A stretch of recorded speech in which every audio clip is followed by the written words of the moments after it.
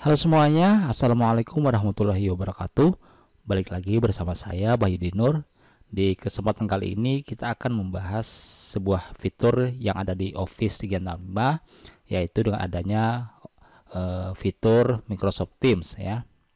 Nah untuk video kali ini kita akan menjelaskan uh, interface dari Microsoft Teams itu sendiri.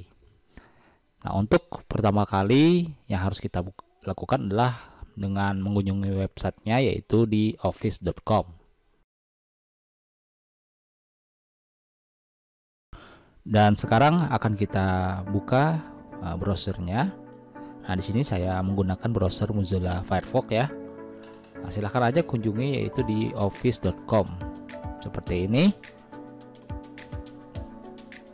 Nah, jadi tampilannya seperti ini ya. Nah, yang pertama kali kita lakukan, kita klik aja sign in di bagian sini. Kita sign in. Nah, jadi tampilannya seperti ini ya. Jadi klik aja sign in dan masukkan uh, password email dan password yang didapat dari penyedia dari Microsoft Office-nya ya. Kalau sudah seperti ini, silahkan klik next dan juga masukkan juga passwordnya dan sign in dan seperti ini klik aja yes. Seperti itu ya. Dan kita tunggu prosesnya. Nah maka akan tampil yang halaman seperti ini ya. Ada Outlook, OneDrive, Word, Excel dan lain sebagainya. Dan kalau kita juga browse pada bagian all apps nah akan ada banyak fitur yang ada di sini ya. Dan kalau dipelajari ini perlu waktu yang cukup banyak untuk mengeksplornya lebih Oke, kita pergi ke sini dan kita klik di sini aja. Oke, maka akan tampil yang seperti ini ya. Sekarang kita akan mencoba untuk mengeksplor tentang penggunaan dari Teams ya. Nah, di sini ada Teams. Kita klik aja Teams. Maka dia akan membuka browser baru. Nah, di sini kita akan menjelaskan interface dari Teams itu sendiri ya. Jadi uh, agar teman-teman tahu uh, penggunaan dari Teams itu sendiri. Nah, jika ada yang seperti ini, di sini ada ada dua pilihan ya. Bisa mendownload aplikasinya atau bisa login langsung di menggunakan web ya. Kita coba untuk login menggunakan web aja pada bagian sini. Nah, maka akan tampil yang seperti ini. Oke. Jadi Nah, tampilannya seperti ini ya. Nggak usah bingung, karena kita akan mengenalkan lebih jauh tentang interface dari Microsoft Teams ini sendiri ya.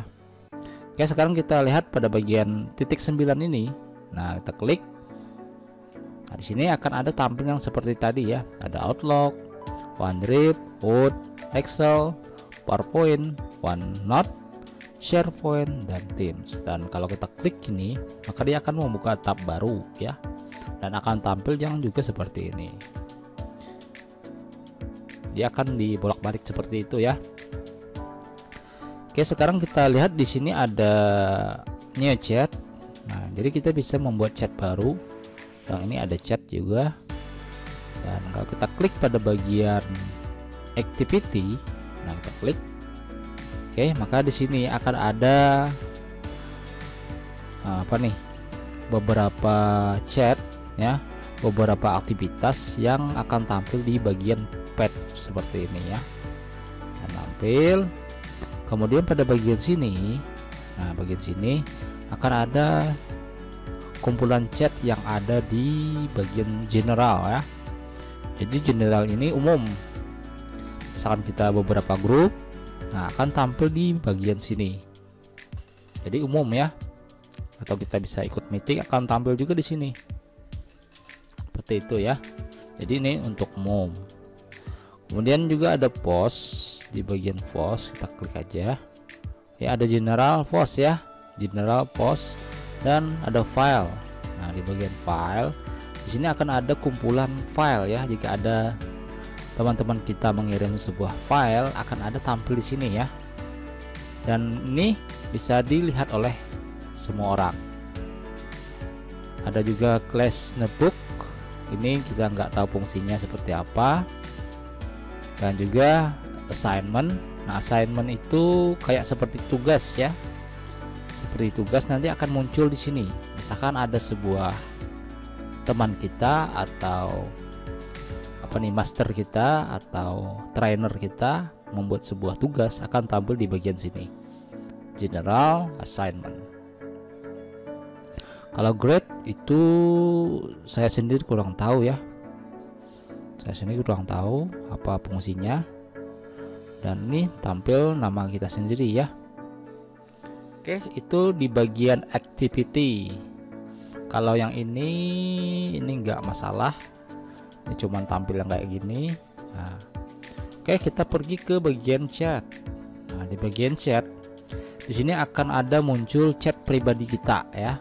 Jadi kita bisa menghubungi misalkan ada teman kita bertanya atau kita menghubungi apa nih uh, trainer kita mentor kita kita bisa chat mereka ya dengan memasukkan nama ini atau emailnya atau grup atau tag ya contoh misalkan memasukkan ini ya nama aja Sari Ira Imawati. Sari. Nah seperti ini. Jadi akan muncul ya. Nah seperti ini.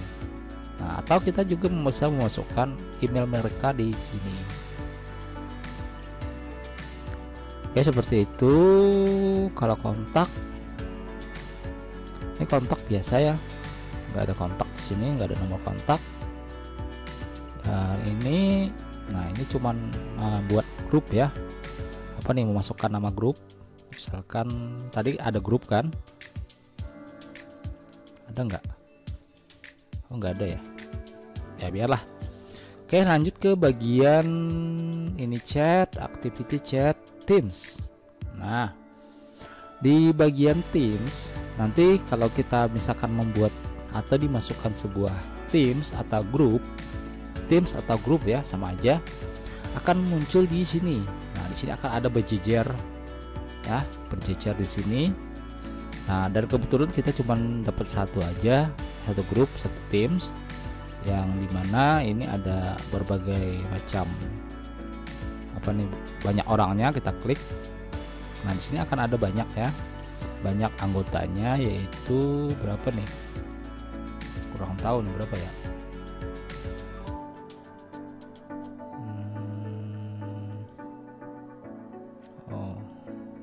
tahu ya berapa ini? Oke jadi untuk ini tips seperti ini.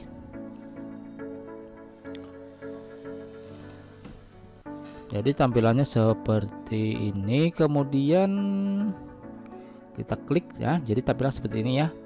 Yang kayak di activity tadi ada general post file klik netbook dan sebagainya akan tampil di sini dan kalau kita lihat diklik pada bagian nah seperti ini tampilan seperti ini dan kalau kita klik pada bagian ini ininya all item Nah, akan muncul yang seperti ini.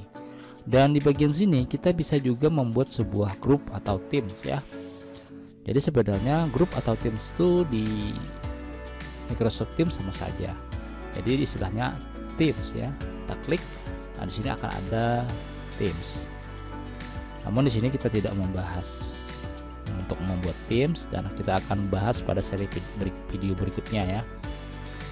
Kemudian di bagian assignment Nah, di sini assignment itu ada grup atau tim tadi. Ada misalkan ada banyak teams akan muncul di sini juga. Namun ini ada setiap teams akan ada tugas. Misalkan ada tugas, kita tinggal klik teamsnya. Kita klik, kemudian next. Nah, di sini akan muncul ya. Kalau misalkan ada tugas, di sini akan ada muncul tugas-tugas yang diberikan. Seperti itu ya. Oke, kemudian di bagian kalender. Nah, di bagian kalender itu akan ada jadwal atau tanggal atau kalender, yang lebih tepatnya kalender. Nah, di bagian kalender ini kita bisa membuat sebuah apa nih namanya? Membuat sebuah pertemuan ya. Dengan di sini ada tanggal ada hari ada tanggal dan di bagian kirinya ada jam. Jadi kita bisa membuat sebuah pertemuan di di kalender ini. Nah, namun di sini kita akan bahas pada seri berikutnya ya. Namun kawan-kawan bisa aja mengeksplor. Jadi tinggal klik kalender. Nah di sini akan ada meeting. Meeting dan tinggal klik aja seperti itu ya. Namun kita akan bahas di seri berikutnya. Oke kemudian di bagian tiga kita klik. Nah di sini juga akan ada banyak fitur aplikasi yang ada. Misal kita klik pada bagian stream. Nah dia akan ini muncul di bagian sini ya. Bisa kita klik lagi file mungkin. Nah dia akan muncul lagi di sini. Bergantian ya bisa stream muncul seperti ini. Untuk yang titik tiga ini banyak aplikasinya ya. Seperti itu. Kemudian untuk apps bagian sini ada apps. Nah apps itu sama aja ya. Sama aja untuk yang fitur-fitur uh, aplikasinya. Nah namun di sini akan lebih banyak yaitu dengan plugin. Seperti plugin ya. Plugin. Jadi di sini ada banyak plugin jadi misalkan untuk menerjemahkan mungkin bisa pakai Wikipedia search untuk mencari dan ada macam-macam sini ya. Itu kemudian di bagian help ini bantuan dan di sini bagian akun bawah ini untuk mendownload aplikasi dari Microsoft Teams. Ya kalau kita klik dia akan mendownload seperti ini. Nah di sini kita tidak perlu ya dan kemudian di bagian sini nah di sini ada mengganti foto ya. Dan kita tidak bisa mengganti nama karena kita bukan penyedia dari apa nih dari trainernya dari trainer Microsoft Office nya jadi kita tidak bisa mengganti nama. Namun kita bisa mengganti foto uh, dan setting kita coba setting. Nah ini untuk tema. Nah tema yang kayak gini. Oke privasi nah, ini tidak terlalu penting juga. Dan seperti ini ya. Oke itu aja. Dan mungkin cukup ya kita untuk uh, menjelaskan interface dari Microsoft Teams. So buat teman-teman yang punya pertanyaan tentang Teams, silahkan komentar aja di bawah deskripsi video ini ya. Dan jangan lupa saya ingatkan sekali lagi yang belum subscribe silahkan klik subscribe karena dengan subscribe teman-teman sudah mendukung channel ini dan semoga channel ini bermanfaat ya dan tentu ini akan kita update lagi untuk tutorial berikutnya baik itu penggunaan atau uh, membuat Teams dan juga membuat uh, meeting dan sebagainya. Oke okay, thank you for watching dan saya Bahyudin. See you next video. Wassalamualaikum warahmatullahi wabarakatuh